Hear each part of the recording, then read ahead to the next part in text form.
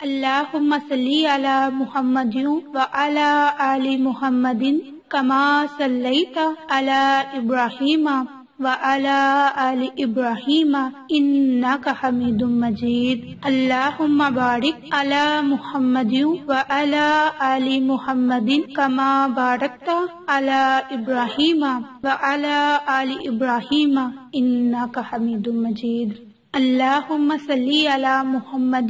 अल्लाहुम्मा सल्ली अला मुहम्मदिन व अला आली मुहम्मदिन कमा सल्लैता अला अला इब्राहीम व अला आली इब्राहीम इन्नका हमीदुम मजीद अल्लाहुम्मा बारिक अला मुहम्मदिन व अला आली मुहम्मदिन कमा बारकता अला इब्राहीम व अला आली इब्राहीम इन्नका हमीदुम मजीद औजुबिल्लाहिमिनशैतानिर्रजीम बिस्मिल्लाहिर्रहमानिर्रहीम आयशा इस्लामिक हिस्ट्री की प्यारी बहनों और भाइयों अस्सलाम वालेकुम वरहमतुल्लाहि वबरकातुहू आज की इस वीडियो में मैं आपके साथ कर्ज उतारने का एक खास और मुजरिब वजीफा शेयर करूँगी ये वजीफा ये अमल बड़ा ही खास और मुजरिब है इस वजीफे की बड़ी ही फजीलत और बरकत है क्योंकि आज मैं आपके साथ कुरानी कलमात का कुरानी अल्फाज का कुरानी आयत का खास और जारी वजीफा शुरू करूँगी, जिसकी बरकत से आपको बहुत से फ़ायदे हासिल होंगे।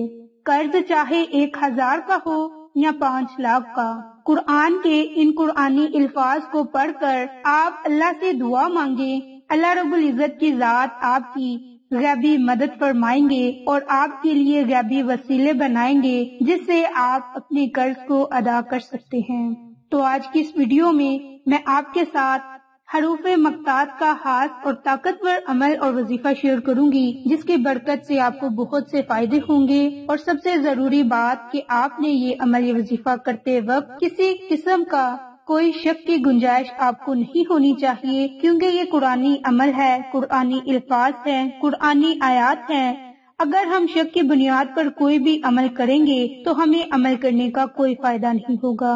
तो आज की इस वीडियो में मैं आपके साथ बहुत ही खास और नबवी अमल कुरानी वजीफा शुरू करूँगी। ये वजीफा मेरे और आपके प्यारे आका मदीने वाले मोहम्मद मुस्तफ़ा सल्लल्लाहु अलैहि वसल्लम ने गजवा हंदक के मौका पर अपने सहाबा, अपने साथियों को अता फरमाया। अगर हमारा आज का वजीफा आप सही तरीके से समझकर इस वजीफे को आप कर लेते हैं तो इनशाला अल्लाह पाक अपने फजलो करम से हमें भी खुशहाल कर देगा।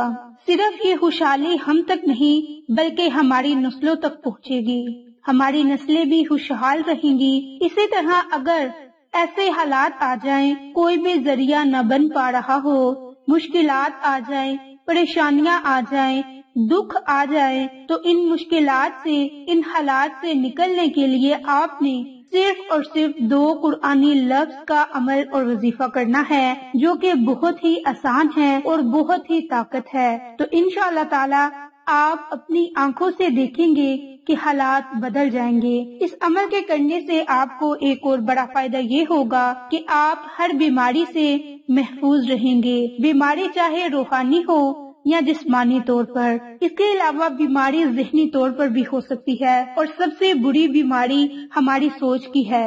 अगर तो हमारी सोच मुस्बत होगी तो हम हर बीमारी का मुकाबला कर सकेंगे, हर परेशानी से निकल सकेंगे, हर तकलीफ़ को बर्दाश्त कर सकेंगे। क्योंकि ये बीमारियाँ, ये तकलीफ़ हमारे ही अमलों का नतीजा है, इसलिए इन बीमारियों से घबराना नहीं, अल्लाह से दुआ करनी है, अल्लाह ताला हमें सेहत और तंदुरुस्ती वाली ज़िंदगी अता फरमाएगा। अल्लाह ताला आपको हर बीमारी से, हर परेशानी से, हर तकलीफ़ से और माली परेशानियों को खत्म फरमाएगा।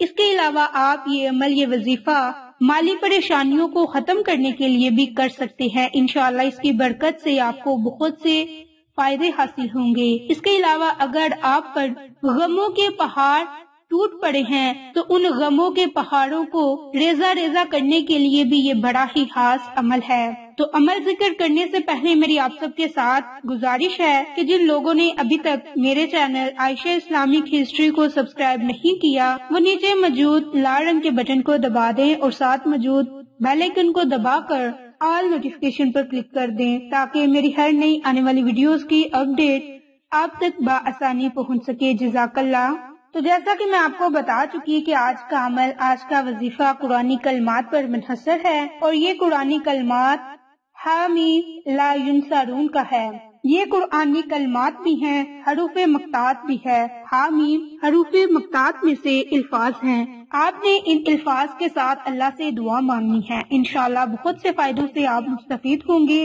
हामीम लायुन सारून का मायने और मतलब है और इसके क्या फ़ायदे हैं कि क्या फजीलत है वो अब मैं आपके साथ शेयर करूँगी। इसके साथ मेरी आप सबसे एक गुजारिश है कि आप रिजके हलाल के साथ पाँच वक्त नमाज़ पढ़ें और ताकत के मुताबिक, अपनी अस्ताद के मुताबिक सदका हेरात का पाबंद बनाएँ तो आप बहुत ही जल्द मंजिल मकसूद को पहुँच जाएँगे हामीम लायुन सारून का तर्जमा है कि हामीम हरूफ मकतात में से है और बहुत सारी कुरान की सूरतों के शुरू में हरूफ मुक्तात हैं। हरूफ मुक्तात के बारे में उल्मा और मुफकरीन लिखते हैं कि इनके मायने, इनके मकासद अल्लाह ताला ही बेहतर जानते हैं इसके अलावा ला युन का मतलब है कि वो कामयाब ना हो सकेंगे, वो नाकाम लौट जाएँगे।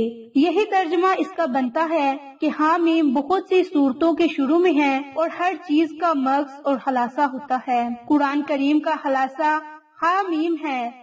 इसकी बहुत सारी बरकत हैं। ये हरूफ मकतात, इनको अगर एक कागज़ पर लिखकर अपने पास रख लिया जाए तो इन कलमात की बरकत से हमें बहुत से फ़ायदे होंगे। तो हामीम, बहुत ही बरकत वाला लफ्ज है। नबी करीम सल्लल्लाहु अलैहि वसल्लम ने किस मौका पर अपने शगिरदान को तलकीन फरमाया था।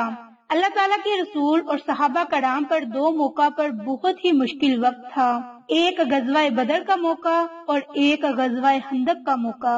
अल्लाह के रसूल फ़ौरन अल्लाह के रजू खड़े हो गए और इतना तवील सजदा किया कि हज़रत अबू बकर सदीक को कहना पड़ा कि अल्लाह के रसूल सजदे से सर उठाए, अल्लाह की मदद आ चुकी है। मामूल था, आप सल्लल्लाहु अलैहि वसल्लम और सहाबा कराम फ़ौरन अल्लाह के हजूर खड़े हो जाते और दुआएँ मांगते। गजवा हंदक के मौका पर भी अल्लाह के रसूल ने अपने सहाबा कराम को जो कलमात इरशाद फरमाए, वो यही कलमात थे, हामीम लायुन सारून कि इन्हें कसरत से पढ़ा जाए। अल्लाह ताला ने मुशरकिन को जलीलो रुसवा किया और वो भागने पर मजबूर हो गए।